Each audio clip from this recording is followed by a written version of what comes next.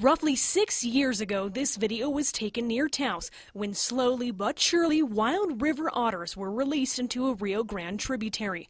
Home at last after more than half a century. The last known wild or uh, native river otter in New Mexico was trapped and killed in the Gila River in the 1950s. Rachel Conn is with Amigos Bravos, a statewide water conservation group that helped create the New Mexico Friends of River Otters Coalition in 2000.